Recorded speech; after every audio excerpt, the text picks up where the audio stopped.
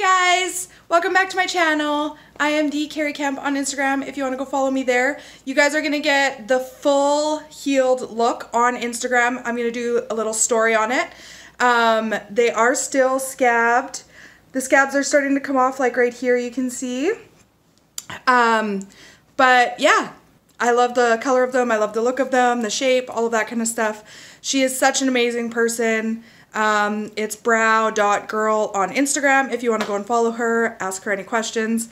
I've asked her a lot of questions in this video, so uh, feel free to watch the rest of the video and check out how she does my brows, all of that fun stuff. Um, yeah, if you have any questions, leave them down below, but without further ado, let's show you how I got these beautiful brows. okay, I'm in here. My eyebrows are getting numbed right now. Ready for my touch up. Whew, here we go.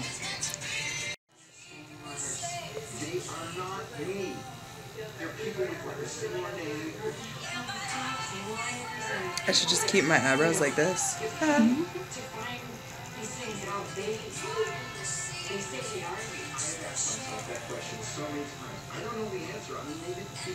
So can you tell them like what the difference between microblading and powdering is? So I get that all the time. Powder, I'm using a machine with a single needle, and the technique that I'm doing is more of a shading technique. Whereas microblading, it's not a machine that I, that you use; it's it's a manual pen. And microblading, you do hair strokes. The powder brows, I fill, I shade the entire brow, which gives it like a powdery effect. That's why we call it powder brows. A lot of times people might call it ombre powder brows because you can do an ombre effect where it's lighter in the front and oh. it goes darker towards the tail. And when it heals, it just gives you like a really natural look. Like this is this part here, we didn't we didn't do anything yet, but it just looks like she used like a pencil to fill it in. Um, we're going for more of a darker look here, darker and bolder. Yeah. But with powder brows, you have the option of doing it really natural or super dark and intense. Lots of options.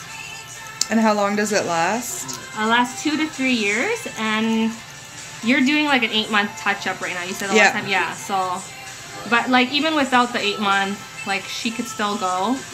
Oh, for sure, yeah. yeah. But it's everyone's preference. Like if you feel like, you know, you want a color refresh, you can always come back in for a touch-up anytime.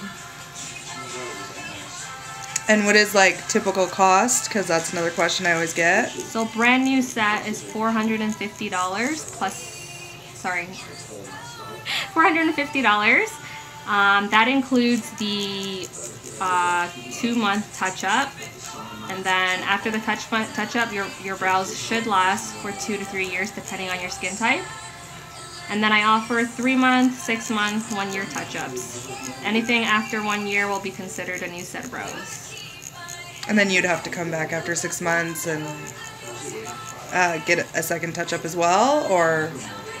Yeah. So oh, okay. a brand new set of brows, that will be the 450 plus the touch up included. Right. Okay. It's worth every penny, you guys, honestly. And I've done my research. She's the best, so.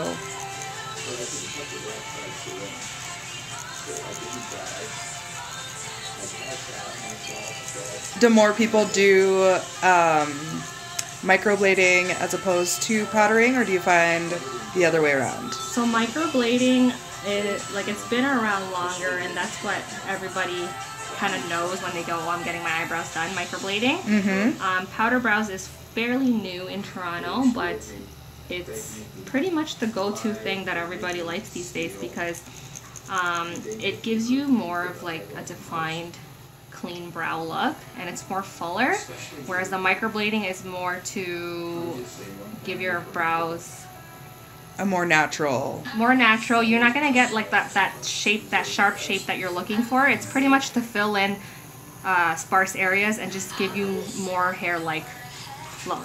Oh okay. How much is um, microblading if that's what they they choose? So microblading my price is the same as the powder brows is 450 oh okay. which, which includes the one touch up as well. Perfect. And how's healing with both of them uh, healing is the same. It's about, on average, 7 to 10 days. And what do you expect when you're healing?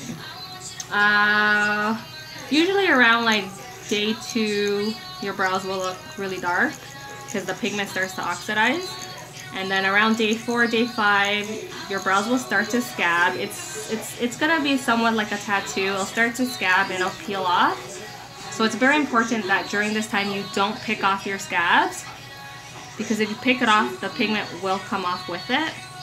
And then you can't get your brows wet. Like a splash of water is okay, but just don't soak it in water. Um, and you can't put anything on your eyebrows, no swimming, you can't work out because if you're sweating a lot, you're gonna push the pigment out. Um, That's the hardest part for me is not working out.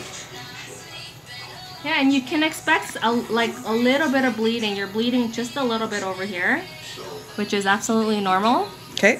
But um, for in terms of pain, like how do you feel? Uh, I can't feel anything. Yeah.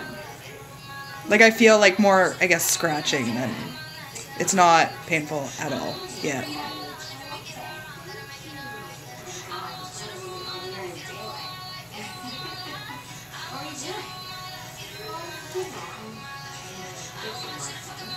How long does it usually take to do the full set? The full set, if it's your first appointment, the full set will be about two hours. When you come back for your touch up, the touchment appointment is usually around one hour. And what can they expect um, when they first come in for that like first appointment? So when you first come in, I'm gonna apply the numbing on your.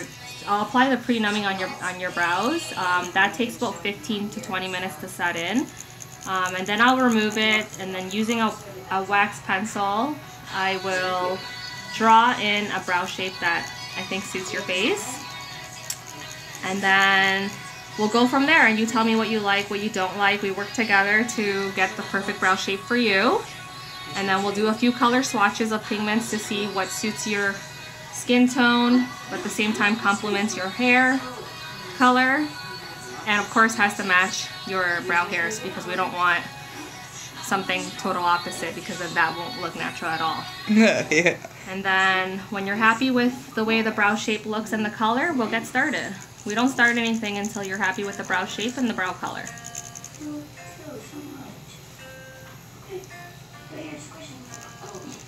That's very different from other people that I've been to. Like typically they just draw on lines, mm-hmm. whereas you actually colored in the brow and showed me exactly what it was gonna look like before any ink got put on, which I really appreciated. It is your face, so we want to make sure you guys. We're good. yeah. We don't want to start anything until you're happy. Semi-permanent people. if somebody went too thick for the first time and they end up wanting to tone it down, is that possible? If you went too thick on your first appointment and you want it thinner at the touch-up, there's no way to go back. Okay. That's why I, Start I thin. always my advice is to, especially when you're going from having like no brows to ha- getting brows. My advice is to always just go smaller, go lighter on your first appointment. Get used to having the brows, and then you know when you feel comfortable with it and you want to go thicker or want to go darker, we can always do that at the touch-up. But we can't go backwards. It's easier to go darker, but you can't go back from dark to light.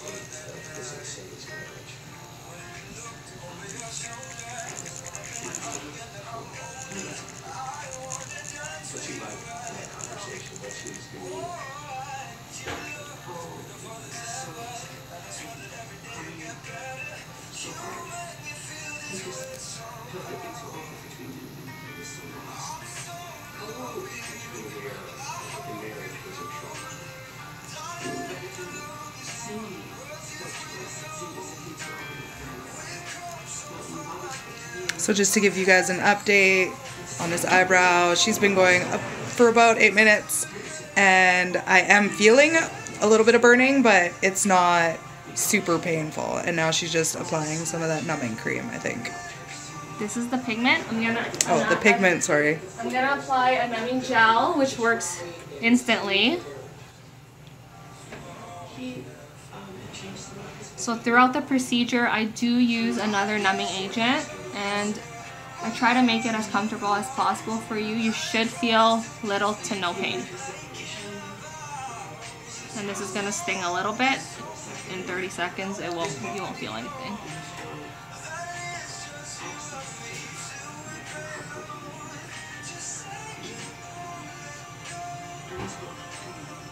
I think I should just like do the whole unibrow thing. That looks hot. this is the new thing.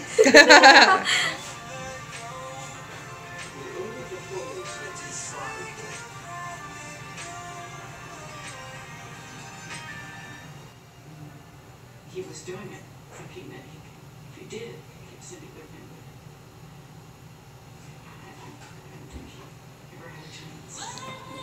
I, I, I like this, right?